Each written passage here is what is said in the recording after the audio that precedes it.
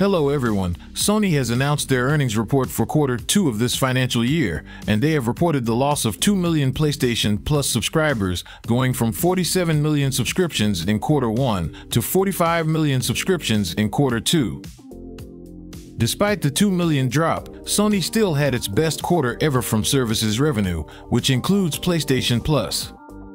Their network service revenue jumped from 106 billion yen to 116 billion yen, which is an increase of nearly 10%.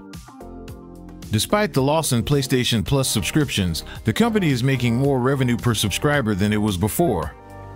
Sony also believes that the subscriber count will increase by the next quarter, thanks to the release of Call of Duty Modern Warfare 2, as it requires PS Plus subscription if you want to play multiplayer.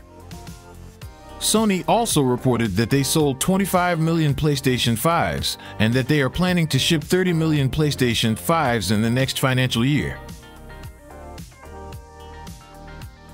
Tell us in the comments are you happy with your PlayStation Plus subscription and with the games you get? We strongly recommend PlayStation Plus Extra as it offers the best value in games.